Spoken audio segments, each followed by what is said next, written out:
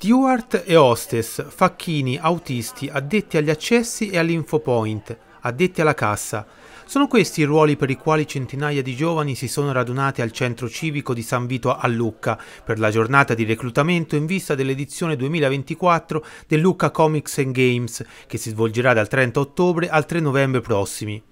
L'obiettivo è quello di assumere fino a mille giovani che abbiano compiuto 18 anni. Stamattina siamo qua molto contenti perché questa collaborazione insieme a Lucca Crea e l'Informa Giovani stiamo dando la possibilità a molti ragazzi di venire qua e eh, collaborare insieme a una nostra partecipata importante che è quella che organizza Comics and Games, la possibilità di fare alcuni giorni di lavoro che magari anche per tanti studenti può essere un'occasione per avvicinarsi a un mondo eh, che conoscono e che amano che è quello dei fumetti e, e diciamo del movie. Eh, per quanto riguarda l'Informa Giovani eh, è importante questa collaborazione, da quando ci siamo insediati stiamo spingendo molto sul fatto che vogliamo che l'Informa Giovani sia informazione ma al tempo stesso vogliamo creare delle condizioni condizioni per cui tanti ragazzi possono trovare anche lavoro, comunque avvicinarsi al mondo del lavoro e questa è una di quelle.